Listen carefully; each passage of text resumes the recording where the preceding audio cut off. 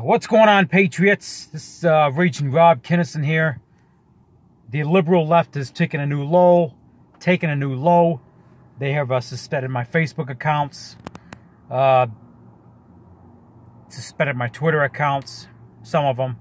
I had to lock a few of them down. I'm basically, uh, you know, they're they're using kids to attack me, saying that I'm bullying them, when in reality I'm trying to wake them up or let them know that they're pawns for the Democratic Nazi Party.